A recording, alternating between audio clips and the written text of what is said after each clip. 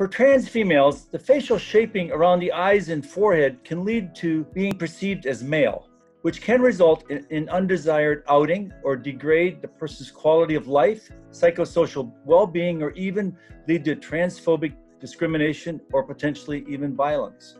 For these reasons and more, facial feminization surgery serves as a critical role in gender confirmation. Our guest today is Dr. Eduardo Rodriguez. He's the chief uh, and professor and chairman of, of, NYU Department of Plastic Surgery. He's a renowned craniofacial surgeon and a pioneer in, in facial transplantation.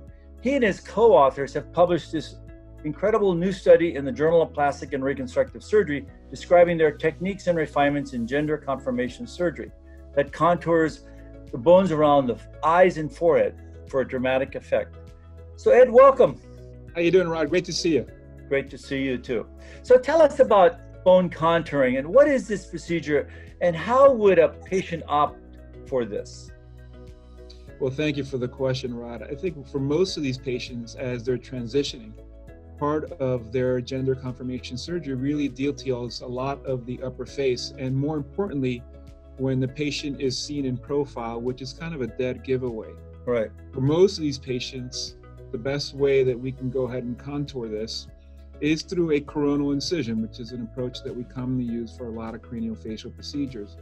But beyond just the routine contouring with a burr, we've found that it's actually safer and you get far better results when you can osteotomize the anterior table of the frontal sinus.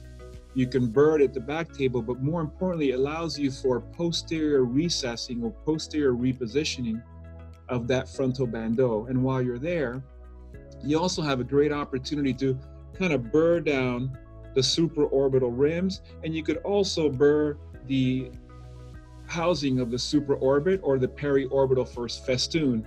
If you were to look at a skull, which I have here, right. you can see from the profile view the significant uh, prominence at the frontal bandeau. Commonly, if you just burr this within less than a millimeter, you're inside the frontal sinus. So right. removing the anterior table, burring it, and then recessing it allows you not only to address this area, but you can also deal with the uh, periorbital festoons. You can raise the supraorbital ridge and allow for far more feminized appearance of the frontal bone. So, what do uh, what does this study mean to the public at large, uh, Ed, when when they're trying to find someone that does this highly specialized procedure?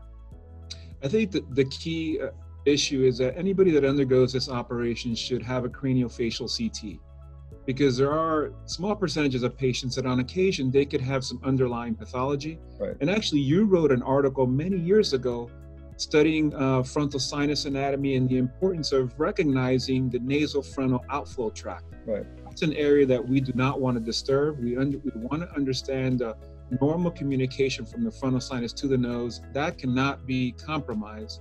If it is, it could lead to mucocele and a whole slew of potential complications. So understanding the craniofacial anatomy, understanding right. the front nasal frontal outflow tract, and really gives you an understanding of how big the sinus is and how much work it will detail. So it's not just as simple as getting access to the frontal bone and burring. You really have to have a good understanding of the underlying anatomy. That's very important, really finding somebody who's a true expert that has expertise in craniofacial surgery and also has a sense of aesthetics like you do in, in shaping this. So, what does a patient need to know to find somebody that does this, Dr. Rodriguez?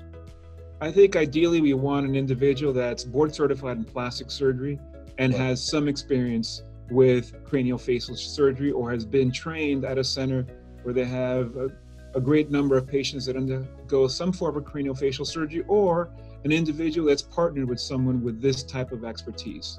I think anyone can burr down the bone, but gaining access to the frontal sinus, avoiding any injury to the nasal frontal outflow tract, and also avoiding any injury to the brain or the posterior table, I think, is very important for patients to understand.